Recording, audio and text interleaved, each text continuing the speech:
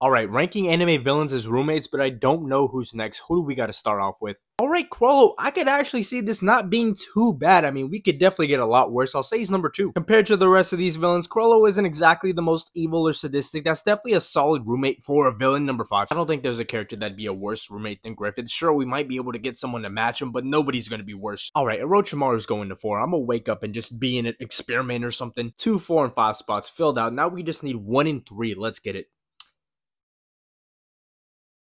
Three. Last up, I'm really afraid of the number one here. This has to be my most wanted roommate.